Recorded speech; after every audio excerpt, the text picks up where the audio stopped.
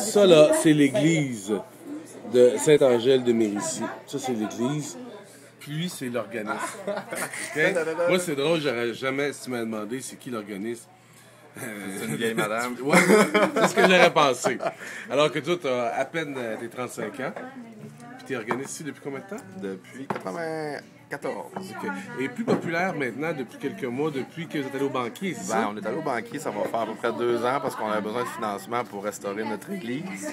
Ça fait qu'on est allé participer à l'émission Le banquier à TVA. Puis finalement, ben, on n'a pas remporté le gros prix. OK. Puis pour le financement, qu'est-ce que vous avez fait, hein?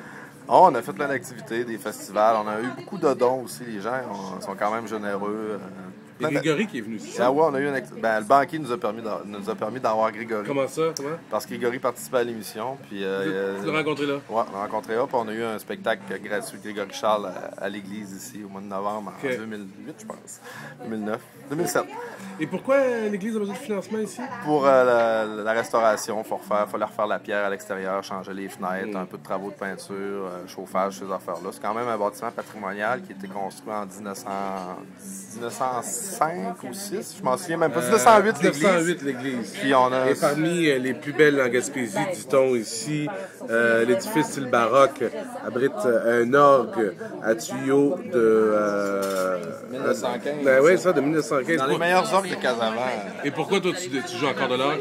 Ouais, c'est parce que je suis chanceux. J'ai la chance de jouer sur un orgue à tuyau Casavant euh, qui, est, qui est d'époque puis qui est encore pneumatique. Puis c'est le- c'est pour le son, l'ambiance que ça donne aussi. Ouais, il y avait Jimmy Valcourt. Salut, merci.